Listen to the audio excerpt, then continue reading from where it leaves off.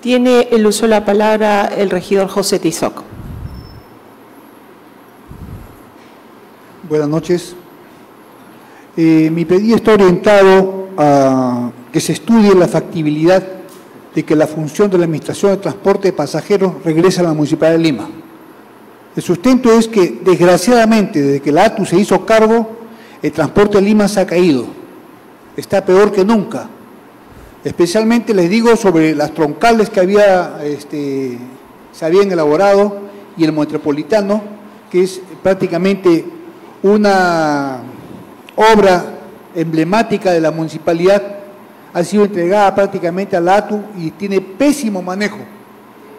Muchas personas que están ahí en, en la estación central piensan y siguen pensando de que la municipalidad es la que maneja el metropolitano.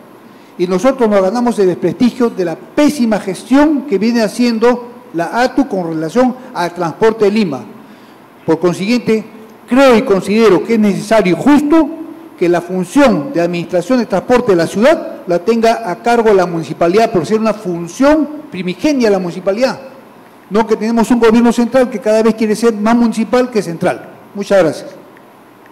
El regidor Luis Milla.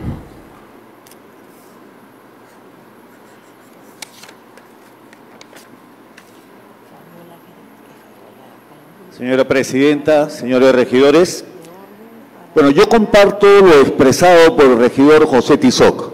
Efectivamente, la ATU está generando muchos problemas, pero no solamente en el metropolitano. El corredor, metropolitano donde, donde transitaban los ómnibus amarillos ha paralizado en sus servicios.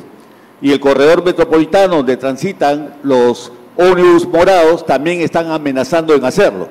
O sea, hay serios problemas. Yo quisiera pedirle a través de la mesa, señora Presidenta, que se le pida a los directores recientemente designados de la Municipalidad de Lima en el ATU que pidan explicaciones qué es lo que está sucediendo y qué acciones tiene que tomar el ATU para evitar este problema, ya que son afectados cientos de miles de vecinos que utilizan estos dos servicios. Y eh, en, el mediano plazo, tal como lo ha propuesto el regidor Tizoc, comparto su opinión de que es importante exigir de que todos estos servicios vuelvan a la Municipalidad de Lima. Eso sería todo. Gracias, regidor Luis Milla.